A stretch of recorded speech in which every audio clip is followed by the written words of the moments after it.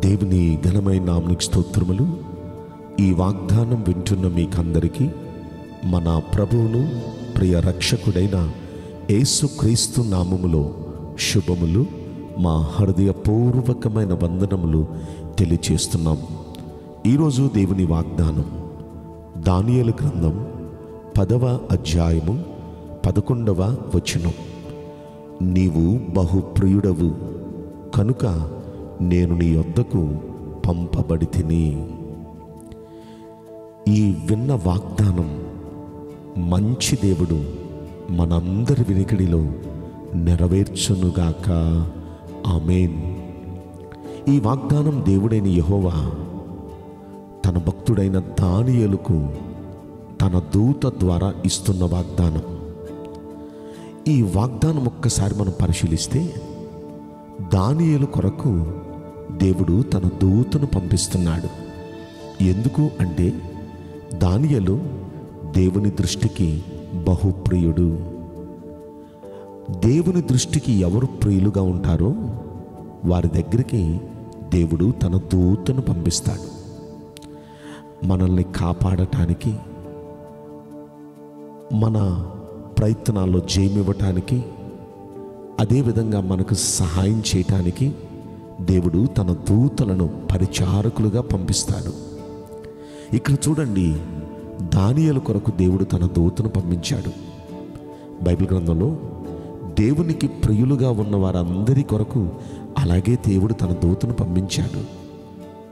Bible గ్రంథంలో మనందరికీ బాగా తెలుసు జకర్యా ఎలిజబెత్ అనే దంపతులు బహువృద్ధులు వారు దేవుని యందు భయభక్తులు కలిగి నీతివంతులుగా ఉంటూ ఎంతో శ్రద్ధగా భక్తి చేస్తున్న కారణాన దేవుడు వారి దగ్గరికి తన దూతను పంపించాడు.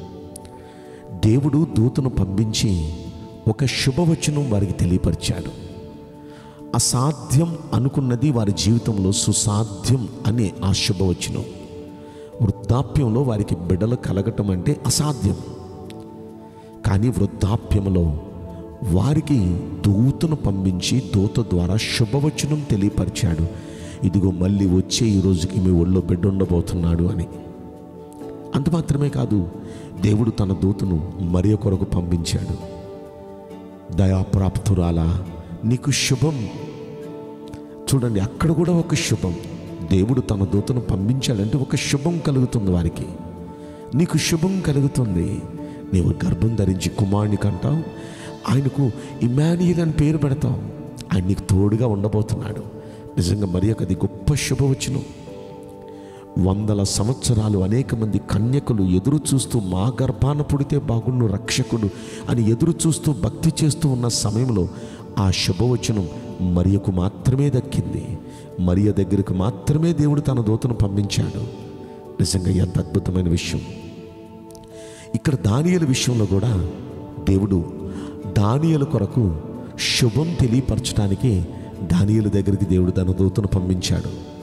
చూడండి ఆ కింద మనం చూస్తే ఇదే పదవ అధ్యాయము పద్దెనిమిది వచనంలో కూడా ఆయన మరలా వచ్చి నన్ను ముట్టి నన్ను బలపరిచి నీవు బహుప్రియుడవు భయపడద్దు నీకు శుభమోగునుగాక నిజంగా ఒక్కసారి మనం పరిశీలిస్తే దేవుడు తన దూతను పంపించాడంటే మనకు శుభం జరుగుతుంది.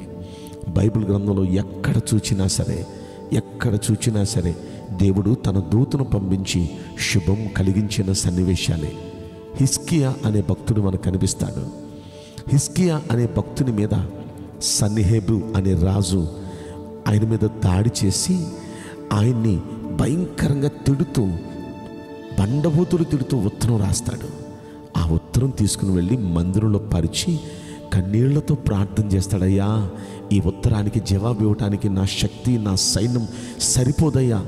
దయచేసి మీరు జవాబు ఇవ్వండి అని ప్రార్థన చేస్తే దేవుడు ఆ హిస్కియా ప్రార్థన ఆలకించి ఆ రాత్రే దేవుడు తన దూతను పంపించాడు.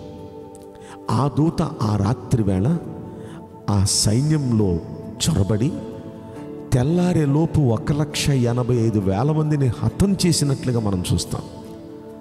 నిజంగా దేవుడు తన దూతను పంపించి మనకు హాని చేసే వారి మీద యుద్ధం చేయడానికి దేవుడు తన దూతను పంపిస్తాడు. మనల్ని కంట తడి పెట్టించే వారి మీద యుద్ధం చేయడానికి దేవుడు తన దూతను పంపిస్తాడు. అంటే మనుషుల మీద అని మీరు అనుకోక్కర్లేదు. మనల్ని కంట తడిపెట్టే ఆర్థిక ఇబ్బందులు కావచ్చు కుటుంబ సమస్యలు కావచ్చు అనారోగ్యం అనే సమస్య కావచ్చు అది ఏ విధమైన పరిస్థితి అయినా ఏ మేలు మీకు జరగాలని మీరు ఎదురు చూస్తూ ప్రార్థిస్తున్నారో ఆ ప్రార్థనలకు జవాబుగా దేవుడు తన దూతను పంపించి మీకు ఆ శుభం తెలియపరుస్తాడు. ఎందుకు దేవుడు తన దూతను పంపిస్తున్నాడు ఎన్నిసార్లు అంటే దానియలు బహుప్రియుడు. ఈరోజు ఈ వాగ్దానం వింటున్న ప్రియ దేవుని బిడలారా మనందరి కొరకు కూడా దేవుడు తన దూతను పంపబోతున్నాడు. ఎందుకంటే మనం కూడా దేవునికి ప్రియులుగా ఉండబోతున్నాం. మీలో ఇంకెవరైనా దేవునికి ప్రియులుగా కాకుండా ఒకవేళ ఆయనకి ఇష్టం లేని పనులు ఏమైనా చేస్తున్నారా? ఆయనకి ఇష్టం లేని మాటలు ఏమైనా మాట్లాడుతున్నారా? ఆయనకి ఇష్టం లేని ప్రవర్తన ఏమైనా మీలో ఉందా? దయచేసి వాటిని సరిచేసుకొని దేవునికి ఏది ప్రియమో దేవునికి ఎలా ఉంటే ఇష్టమో అలా ఉండటానికి మీరు తీర్మానం చేసుకొని ఉండగలిగితే మన కోసం మీకోసం నా కోసం అందరి కోసం దేవుడు తన దూతను పంపిస్తాడు. ఆ దూత మనకు దగ్గరకు వచ్చారో మనకు శుభం జరిగినట్లే. కనుక ఈ వాగ్దానం వింటున్న మీ అందరి ముందుకు మనందరి ముందుకు దేవుడు తన దూతను పంపునుగాక శుభం కలిగించునుగాక. ఆమె నేను మీకోసం ప్రార్థన చేయబోతున్నాను. పరిశుద్ధుడా ప్రేమగల యేసురాజా మీ పరిశుద్ధ బంగారు పవిత్రమైన నామునకు నిండు మనసుతో కోట్ల కొలదిగా స్థుతులు స్తోత్రములు వందనాలు చెల్లిస్తున్నాం. ఈ వాగ్దానం వింటున్న ప్రియుల జీవితంలో దయచేసి శుభం జరిగించండి. దానియలు కొరకు మీ దూతను పంపించి శుభవచనం తెలియపరిచిన దేవా ఈ వాగ్దానం వింటున్న ప్రతి ఒక్క వ్యక్తి కొరకు మీ దూతను పంపించి వారి కుటుంబంలో వారి జీవితంలో శుభం జరుగునట్లుగా మీరు అనుగ్రహించమని ఈ కొద్ది మనములు నజరుడని యేసు క్రీస్తు ప్రశస్తమైన నామములో ప్రార్థించి బ్రతిమలాడి వేడుకుంటున్నాం. ప్రియ పరలోకపు తండ్రి amen.